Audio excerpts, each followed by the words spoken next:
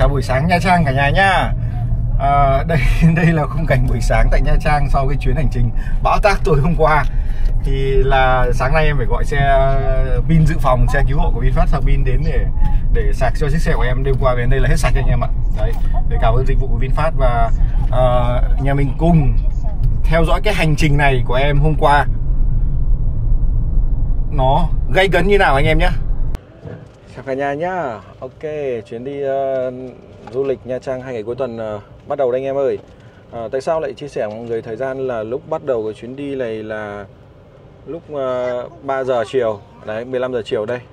À, Tại vì này, uh, con gái em thì nó học hôm nay chiều thứ sáu. Chiều thứ sáu thì nên là phải qua đón cháu nó uh, sớm một tí. 3 giờ cháu nó 3 rưỡi cháu nó tan cơ. Nhưng mà em đón từ 3 giờ thì tầm này các cháu đang uh, là giờ giải lao rồi thì sau khi đón cháu xong thì mới có thể đi du lịch được. Định đi vào sáng ngày mai ấy, nhưng mà đi luôn từ chiều hôm nay thì à, nó có thời gian chơi nhiều hơn. Thì à, một vài thông số chia sẻ cho anh em à, trước khi khởi hành chuyến đi khởi hành với 94% pin uh, 33 độ C.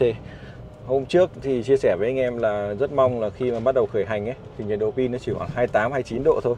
Nhưng hôm nay đúng ngày mà thời tiết Sài Gòn lại rất rất nóng anh em ạ. Nóng lắm. Nên là không thể tránh được, cho dù anh em không đi, thì nhiệt độ pin nó vẫn cứ lên 33 độ. Rồi, ok. Rồi, bây giờ sẽ đi ờ, cung đường, giờ sẽ đi cầu Phú Mỹ đây. Rồi, lên đường anh em ơi.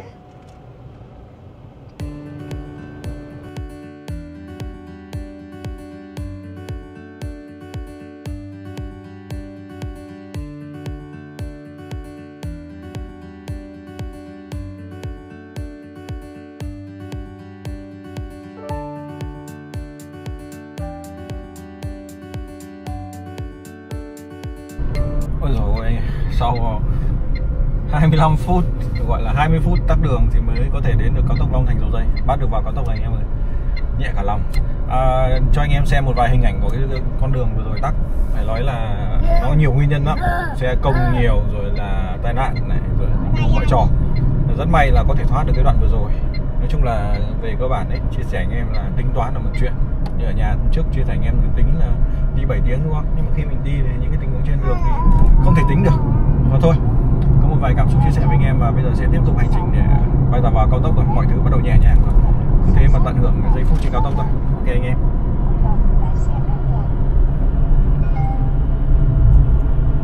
Cuối cùng cũng đến được điểm à, dừng chân đầu tiên rồi. Và trạm sạc này thì có một súng bị lỗi này một súng hoạt động được và toàn bộ dãy này mười mấy cái trụ sạc không kích hoạt luôn anh em ạ. Hy vọng là cái súng tới. Ồ, súng tới anh em ạ.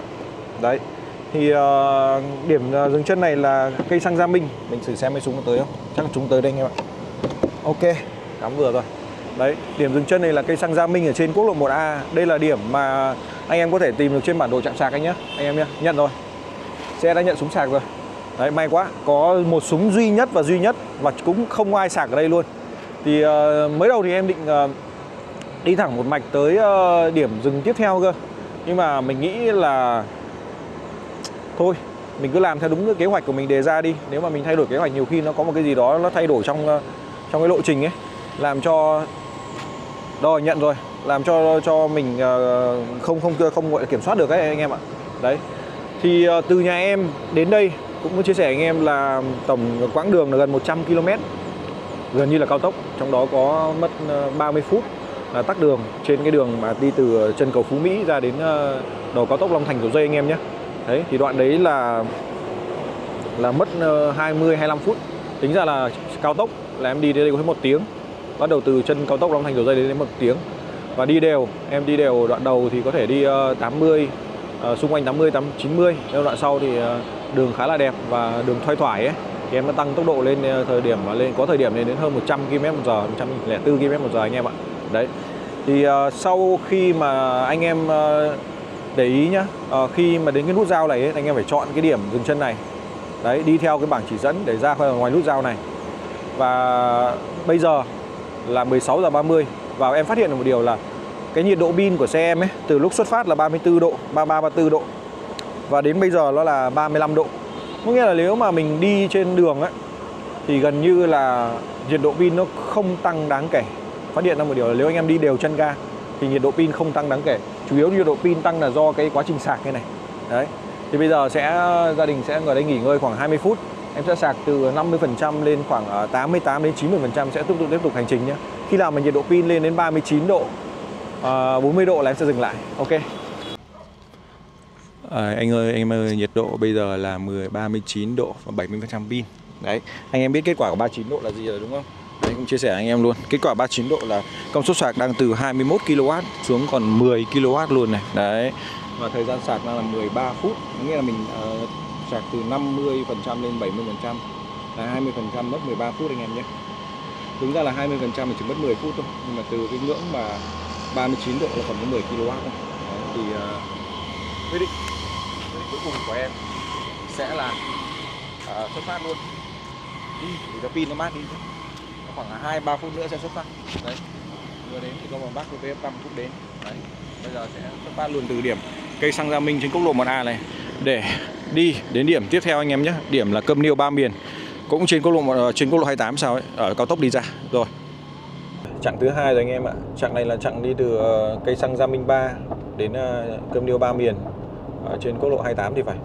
À, còn 76 km nữa tới chia sẻ với anh em một số thông tin đấy là sau khi mà thấy cái tốc độ sạc nó không như mong muốn nữa thì em quyết định dừng sạc và bắt vào cao tốc để đi lên à, bắt đầu từ từ quốc lộ A đi lên cao tốc để đi. Thì uh, cái cung này ấy, em quyết định chọn là đi với vận tốc dưới 80 km/h. Hiện tại em đang đi 79 km/h. Đấy 79 80 tùy xung quanh 79 80 thôi. Để cho nó cái tự động cơ nó hoạt động ở trong cái môi trường gọi là tối ưu nhất mát nhất để cho mình có thể đi được xa nhất anh em nhé nói chung là mình sẽ, mỗi một chiếc xe nó có một cái đặc tính riêng ấy. mình đừng có ép nó. Ép nó đi trăm được trăm để làm được, nhưng mà mình khổ thôi. Nó khổ mình cũng khổ, nên tốt nhất là phương án là nó nhàn thì mình cũng sẽ nhàn. Thời gian mà theo cái ờ, cái tính toán ban đầu á, là khoảng 9 rưỡi sẽ đến Nha Trang, thì bây giờ đang là 7 giờ tối. Đúng là thời thời tiết này, thời tiết của tháng 10 anh em thấy chứ 7 à đâu, bây giờ 5 giờ 5 giờ chiều. 5 giờ chiều anh em nhìn này, thời tiết ngoài trời trời mà 5 giờ chiều mà cứ như là 7 giờ tối mùa hè đúng không anh em? Đấy. Thì bây giờ là 5 giờ chiều thì mình sẽ mất uh, một tiếng nữa là sẽ đếm được cái trạm sạc tiếp theo là 6 giờ. Mình sạc ở đó nửa tiếng là 6 rưỡi. Thì từ đó là Phan Thiết rồi. Từ đó đi về Nha Trang còn khoảng 200 cây nữa. 200 cây nữa thì mình sẽ đi mất ờ, uh, 3 tiếng, 3 tiếng rưỡi nữa. Đấy, 3 tiếng rưỡi cộng 1 tiếng là 4 tiếng rưỡi nữa còn nửa tiếng là 5 tiếng nữa.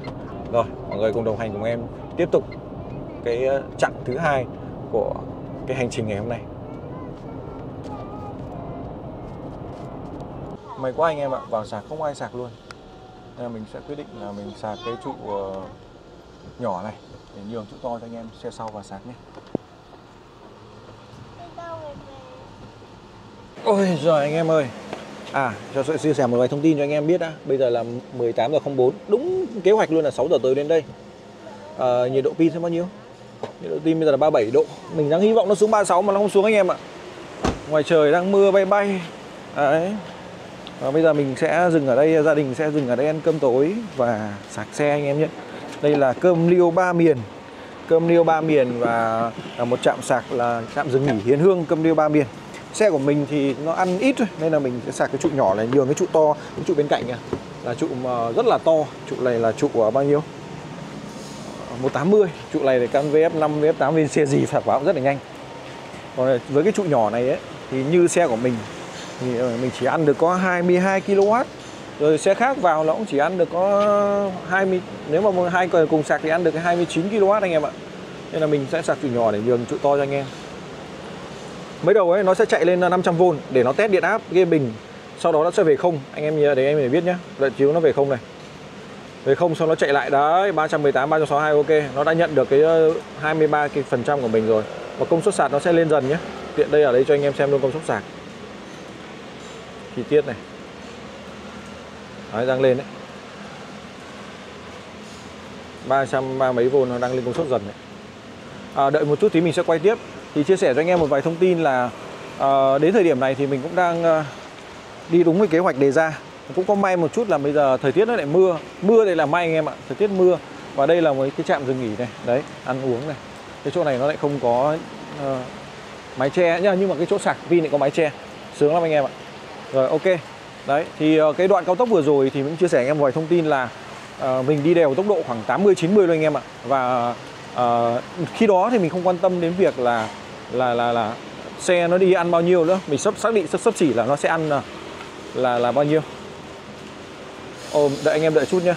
Ờ, hiện tại xe nó nhận sạc như này mà nó chỉ sạc có 0,14 kW thì mình sẽ phải dừng sạc lại. Anh em ạ có vấn đề rồi. Nhiều khi mình cũng phải để ý cái việc này anh em nhé bây giờ mình sẽ dừng sạc. Ok dừng sạc này. Mặc dù là nhiệt độ pin rất là ngon mọi thứ rất là ngon nhưng mà nó lại uh, công suất sạc nó lại kém. Đấy anh em phải để ý nhá bây giờ mình sẽ cắm lại. Ok cắm lại. Đấy đây đã là một kinh nghiệm cho anh em luôn. À, mình đang nói vở về câu chuyện là chiếc xe này nếu mà đi trên cao tốc ấy, mà mình đi đều tốc độ từ 80 trở lên ấy, thì nó sẽ đi được khoảng 100% pin sẽ đi được khoảng gần 200 cây. Nói chung là cứ một phần trăm pin sẽ đi khoảng gần hai cây. Nên là mình cũng cứ thế mà tính anh em nhé còn mình ờ, cái điều mà quan tâm nhất trong cái việc đi xe VF3 này khi mà đi xa ấy, là anh em quan tâm là cái nhiệt độ pin. Nhiệt độ pin mà dưới 39 độ nó sạc rất là nhanh, còn trên 39 độ thì nó sạc thì thôi rồi. Là mình sẽ quay lại xem một túi chi tiết cái này nhé nếu mà cái súng này nó vẫn ở cái hiện tượng này thì mình sẽ đổi súng. Khả năng cao mình sẽ đổi súng ra bên kia. Đấy, trong những tình huống như này thì mình không thể tính toán trước được anh em ạ. Cố cố nhường cái súng này cho xe đấy. Thôi em sẽ tắt máy để sang bên kia sạc anh em nhé. Như này là có vấn đề rồi đấy vậy là đang mất gần 3 phút mà chưa sạc được. Bây giờ mình sẽ sang bên kia mình sạc anh em nhé.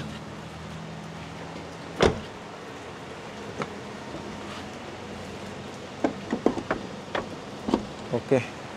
Rồi anh em đợi em tí. Mình chuyển cây sạc vào anh em ạ. Nhiều khi cái việc này nó cũng không liên quan gì đến xe đâu. Có khi là mình nghĩ là do liên quan đến cái cây đấy. À, mình cũng sẽ thử luôn lại cho anh em. Mình bấm nhanh quá bấm chi tiết này. Ok đấy anh em thấy chưa? Bây giờ nó lên đến 25 kW này. Đấy 375V mình nghĩ là cây kia đang có vấn đề.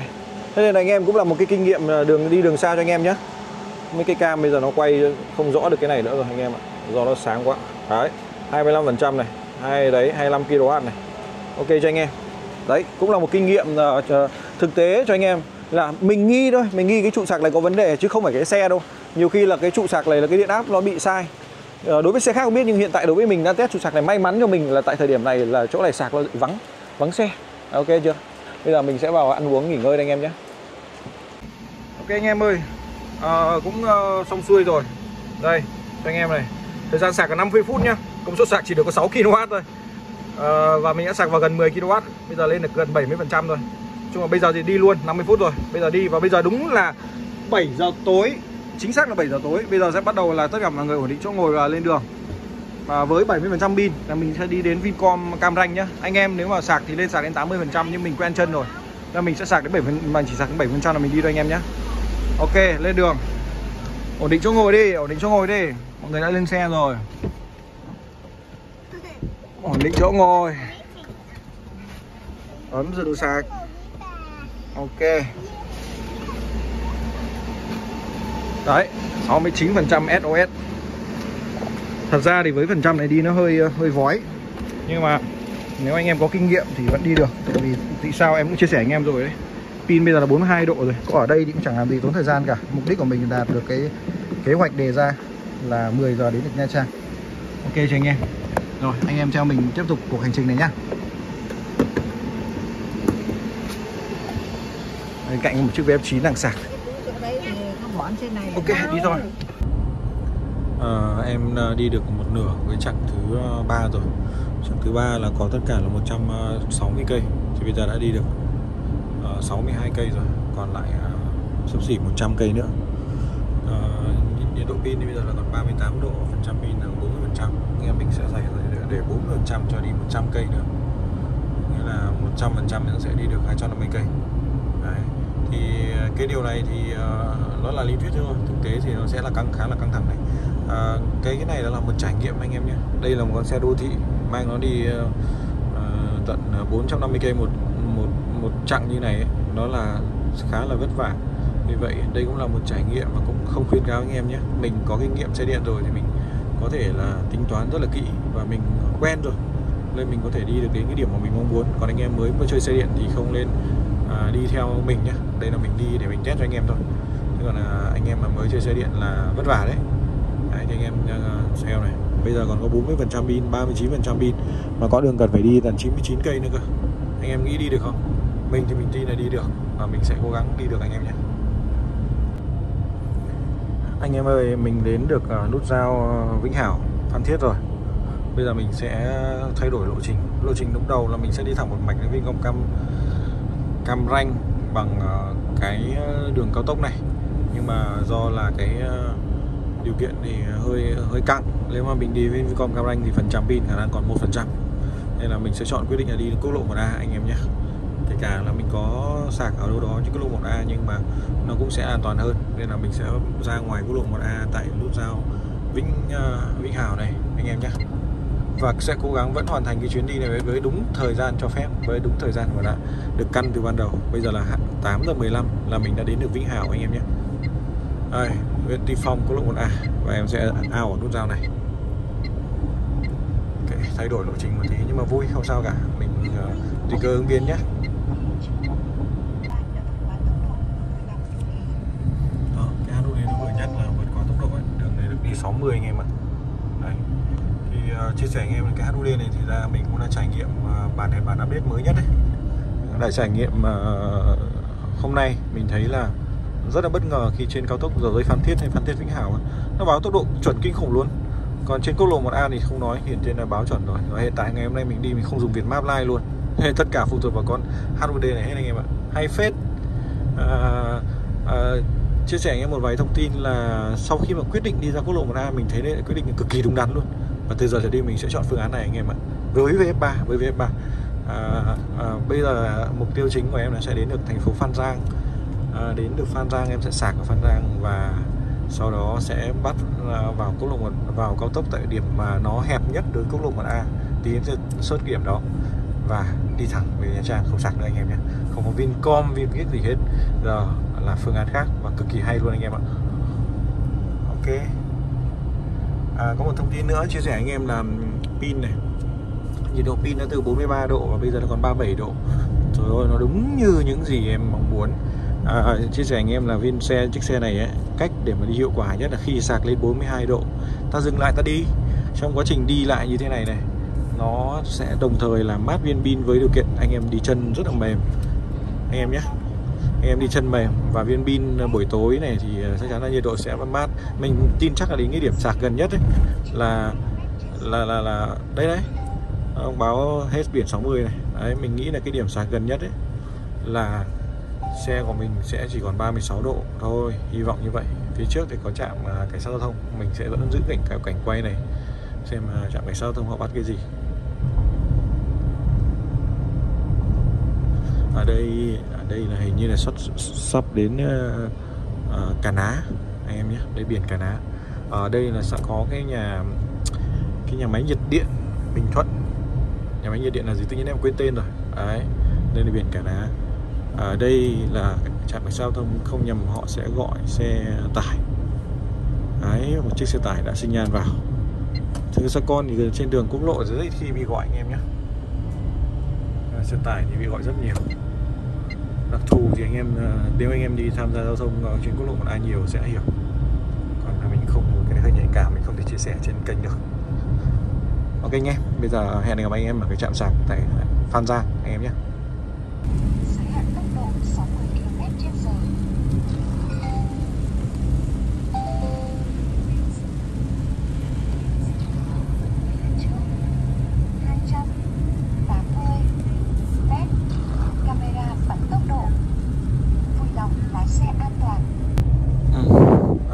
Biển đông dân cư rồi. À, chia sẻ cho mình à, những thông tin sau. Đầu tiên thì bây giờ đang là 9 giờ 10 và hiện tại em uh, chuẩn bị hết thành phố Phan Giang. À, bây giờ còn 12 phần trăm. À, anh em thấy thế nào? Nếu mà đi theo lộ trình trước mà đi đến đi cao tốc mà đi Vincom Cam Ranh thì mệt mỏi đấy không đủ đâu. 12 phần trăm này thì mình uh, đi khéo thì sẽ đi được khoảng 25 30 cây nữa được 30 cây nữa. Thì cái điểm sao? Điểm sạp em chuẩn bị đến là cách đây 11 cây. Đấy, cách đây 11 cây nữa. Nên là thoải mái. Từ đây đến điểm sạc đấy thì xe sẽ còn khoảng à, uh, 8 phần trăm pin nữa. Và tại đấy thì sạc thì hy vọng là nhiệt độ nó xuống 37 độ. Bây giờ đang 38 độ.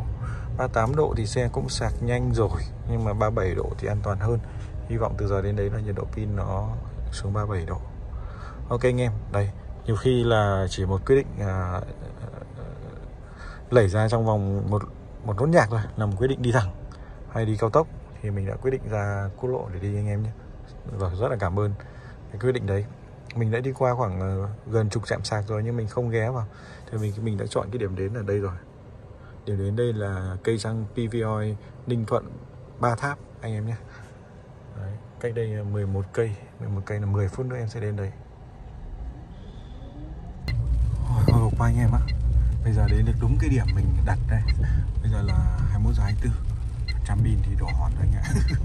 Xe đến được đây là 21 giờ 24 sẽ vào đây ghé sạc một lúc gọi là đi anh em nhé. May quá, may có quyết định vừa rồi là đúng đắn.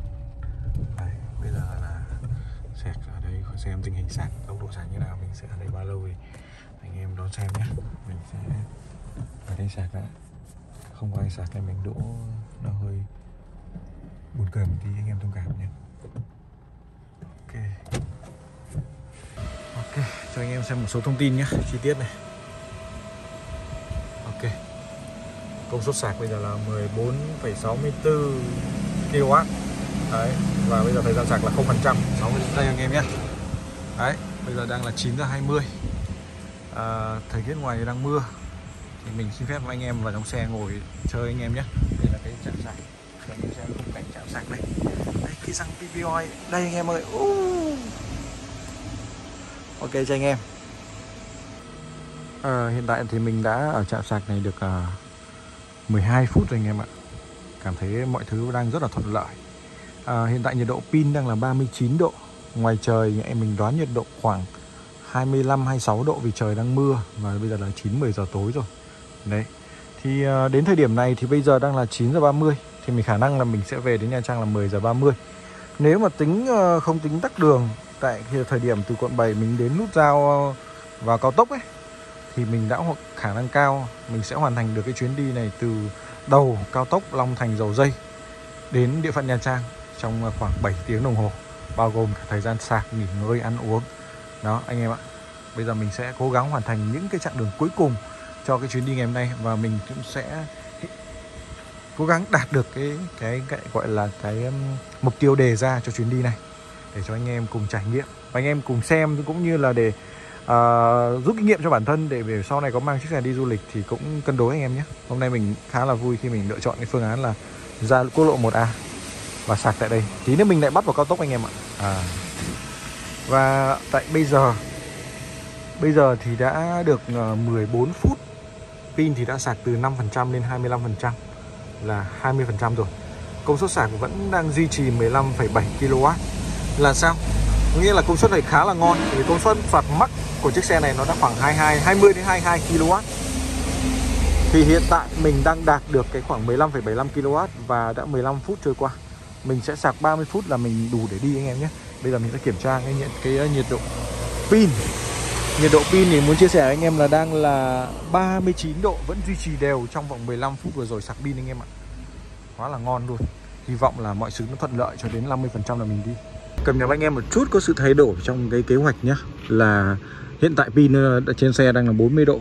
Đấy, em nhìn trong xe là 40 độ rồi. Dẫn đến công suất sạc bây giờ chỉ còn 9,85 đến 10 kW thôi. Thời gian đã sạc được 25 phút. Nếu mà theo đúng tính toán trước đây của em ấy Thì là thời gian sạc là 30 phút sẽ lên được 50% nhưng mà như thế này thì 30 phút sẽ lên được 45% Khả năng là em sẽ đi với 45% anh em ạ. Bởi vì ờ, khi mà công suất sạc 10 kW này hơi hơi chậm. Mà mình sẽ đợi thêm 10 phút nữa là mình 5 phút nữa mình đi. 10 phút đi anh em. Ok Đã 31 phút trôi qua anh em ạ. Đúng là uh, đi một chiếc xe điện thì không thể giống như chiếc xe xăng được. Ở đây nghỉ ngơi 30 phút rồi chứ bình thường nếu mà xe xăng thì một sẽ về nhà thẳng nhà luôn và nghỉ ngơi ở nhà đúng không? Mà xe điện thì sẽ nghỉ ngơi chạm sạc. Đây là cái lần nghỉ ngơi cuối cùng. Trước khi uh, đến uh, nhà em tại uh, Nha Trang luôn. Thì bây giờ là gọi là tính xác là bây giờ khoảng 10 giờ. Từ đây đến đấy khoảng 40 phút nữa. Là 10 giờ 40 phút sẽ về đến nhà. Rồi ok. Uh, sau một vài thông tin sau rồi trước khi lên đường anh em nhé. Sau 32 phút à, đồ, năng lượng vào là 7. 4 kW bây giờ vẫn sạc 10,21 kW vẫn sạc gọi là khá là nhanh. Và nhiệt độ pin mình đoán bây giờ xem nào. Vẫn là 40 độ anh em ạ nhiệt độ pin vẫn là 40 độ nhưng mà mình sẽ đi thôi. Chứ ờ, thật ra thì ờ, cũng quá thì cũng chả làm gì cả. Bây giờ mình đi để để để uh, uh, về nhà cho sớm nghỉ ngơi anh em nhé. Đây cũng là một trải nghiệm để cho anh em có kinh nghiệm hơn. Ok anh em. À, chuẩn bị bắt vào nút giao cao tốc uh, uh, Cam Lâm Vĩnh Hảo rồi đấy đây là nút giao cao tốc Cam Lâm Vĩnh Hảo này anh em này. À, nút này là nút giao Duy Long hay cái gì đó. À, mình cứ đi theo đúng biển báo anh em nhé. Đây biển báo nó sẽ có nút giao ở đây này.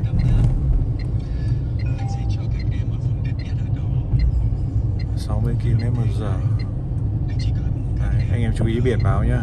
Đây chuẩn bị rẽ sang này. Đây mình rẽ sang đây. Ok. Đấy họ đây là phản quang để anh em đỡ đi nhầm đấy. Ok. Vào nút giao này là mình sẽ lên cao tốc và mình sẽ xuống nút giao uh, suối dầu anh em nhé. Xuống nút giao suối dầu là có nhiều đến Nha Trang rồi. Từ đấy về nhà em khoảng 10 cây nữa thôi. Đấy, đây là đường dẫn vào nút giao Cam Lâm Vĩnh Hảo. Ok anh em.